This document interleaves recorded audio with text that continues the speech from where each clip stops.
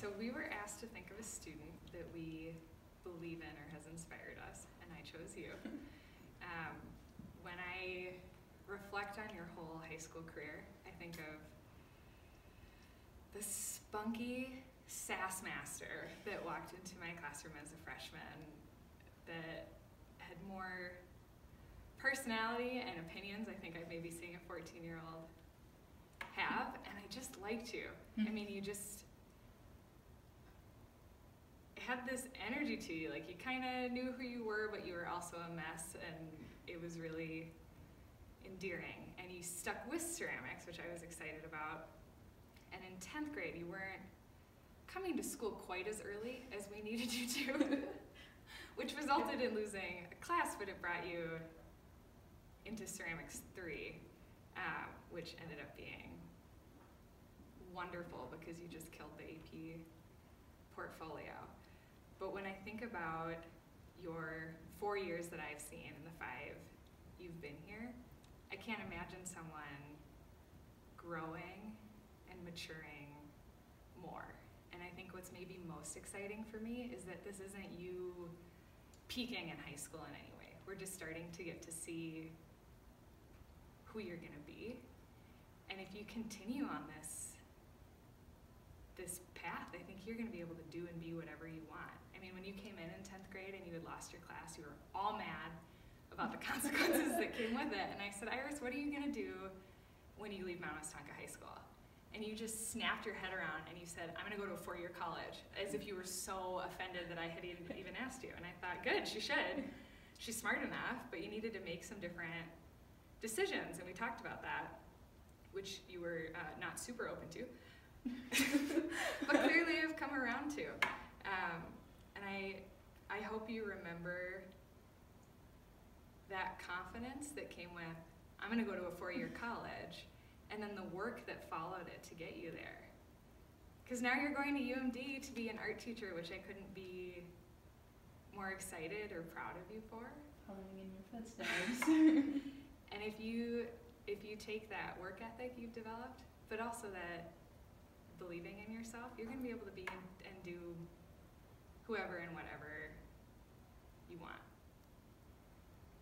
I'm gonna cry. oh.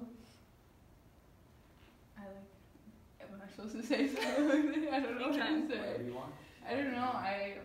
It means a lot hearing you say that because you've been like my biggest role model throughout high school. I don't know. I know you know that, but like, I feel like we started our journeys together in a way, and I just you've done so much for me. I would not be like you say you're proud of me for my accomplishments and for getting better, and I wouldn't be where I am if it wasn't for you, and I wouldn't be inspired to do the things I want to do if it wasn't for you. And I thank you so much for everything you've done for me. 'cause I was not at a good place when I came to you, and I'm leaving in like the best position ever, and I'm just so happy. And the way everything turned out, and it, like most of it's because of you. So, thank you. Rob, I hope you learned in all of this that you're smart. Of course. Because when you came to me, I don't think you knew that. Yeah. And she wasn't in the Westonka schools. That's why. The only reason. yes. Obviously. Obviously. But you are. You're so smart. And I I was a student like you that didn't excel in the areas that high schoolers usually think makes them smart. Math was really hard for me. Um, and that's what we think of as being smart when you're a teenager.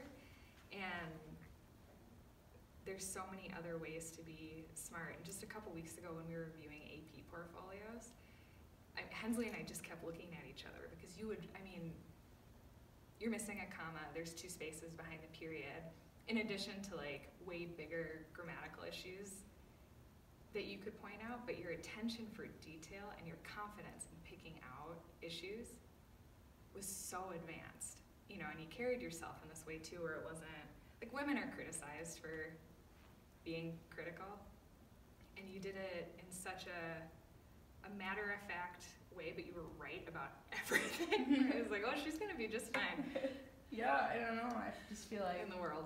Yeah, well, because of people like you motivating me and believing in me, I was able to figure out things that I was good at and appreciate those things much more. And I think I still have areas to work on and given up on the things that like I'm not so good at. But yeah, that means a lot to me to hear you say that, obviously. and those experiences will make you a great teacher because you're gonna meet a kid like you, I know. Spunky sass master.